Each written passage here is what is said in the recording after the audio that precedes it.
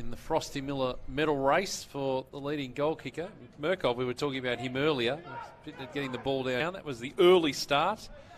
Got Sandringham, 8 13 61, lead 9, 16 minutes into the uh, third quarter there, till 3 3 21.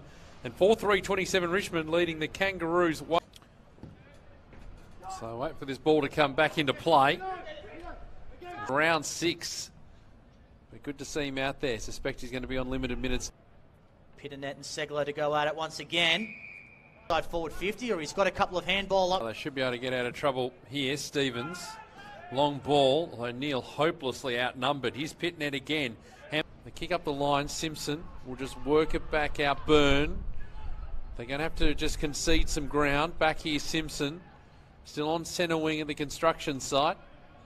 And that's out of kick not finding the intended target. Simpson's been in everything today. Good comeback from him so far. Tackled by one of the other players who's making it come. So Ratugolea again to do battle. This evens for the Cats. And now we've got the clearing kick. Pittonet should have front position and does. Nice mark with uh, Dempsey bearing down. It's not a bad one. Still going to fall short. Ratugolea the front position. Pittonet at the back managed to get the footy. There's a lot of work on that side. Yeah, might have a sore arm or two after the game. Carlton win this stoppage. Play. Here's Childcraft. It's Cade. Inside forward 50 to the one-on-ones. Neil. Taking down, uh, taking down names and details. field composed. And he's able to find Pittonet at Hoggerty, trying to put an end to that.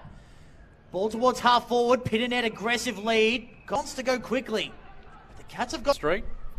Back here, though.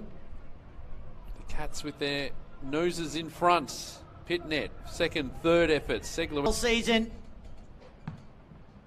Pittonet and Segler. Pittonet won it lot today. Segler somehow got the hands free. Pittonet almost took his opponent high. Now he's won the footy, and Dahlhaus is in the centre bounce as well. Pittonet wins the stoppage though.